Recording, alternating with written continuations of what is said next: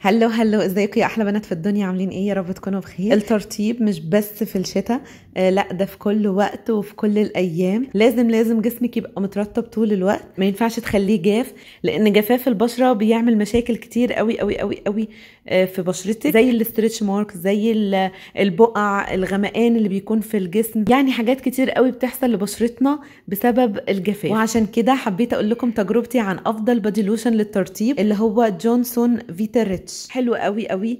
آه، بيرطب جسمك لمدة طويلة بيفضل جسمك رطب لمدة طويلة. آه، مش بيلزق بقى وي- ويسيب تكتلات كده على الجسم أو حاجة لا البشرة بتمتصه بسهولة جدا جدا. بجد حلو قوي ورخيص جدا يعني مش غالي خالص خالص. بالنسبة لأسعار لوشن تانية آه، بجد ده سعره كويس قوي آه، على كل الحاجات اللي هو بيعملها. والريحة الحلوة قوي اللي يعني في روايح كتير جدا منه.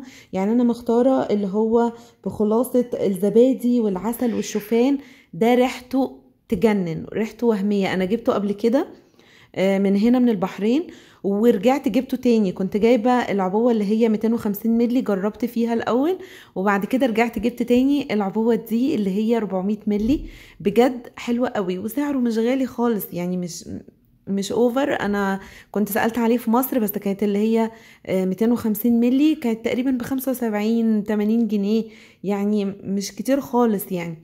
آه، وهنا في البحرين الحجم اللي هو 250 ملي سعره آه، دينار 690 حاجة زي كده. آه، كمان ال 400 ملي اللي أنا جايباه ده ب 3 دينار وحاجة. يعتبر مش غالي. بالنسبة لبادي لوشن كتير قوي تانية آه، بتجيبيها بتبقى سعرها غالي وبتكون عبوات بتاعتها صغيرة آه، بس مش بتديكي كمان ال effect اللي انت عايزاه الحلو قوي ده. بجد عجبني جدا. من أفضل من أفضل ال body lotion اللي أنا جربتها. أنا جربت طبعا آه، اللوشن بتاع Bath and Body Works ده تحفة طبعا تحفة. وكمان Victoria's Secret فظاع.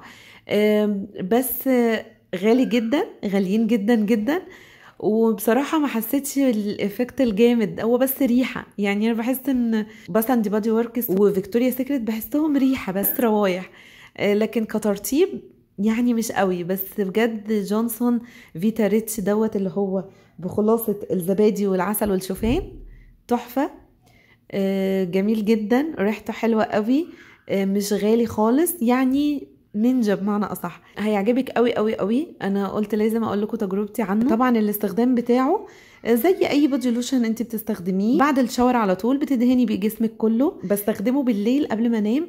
آه، تاني يوم بلاقي نفسي جسمي مترطب. يعني مش اللي هو جسمي بينشف أو كده. لأ بلاقي زي ما أنا ما حطيته مترطب وجميل جدا واول ما بتحطيه البشرة بتمتصه كويس قوي. بس هي العبوة دي مشكلتها في حاجة واحدة إن أنت لما بتيجي تحطي منه على إيدك بينزل كتير قوي. فخلي بالك ما تخليهوش ينزل كتير يعني عشان هيخلص منك بسرعة. بس هي دي المشكلة بتاعته. وزي ما قايلين بالظبط زي ما مكتوب عليه ترطيب 48 ساعة بجد ويمكن أكتر كمان.